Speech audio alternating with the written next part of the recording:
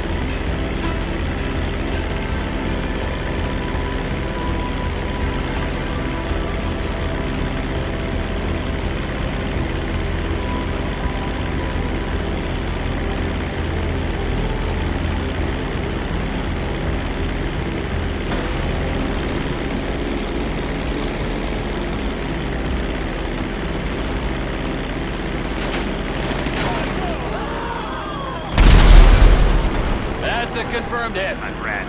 Perfect.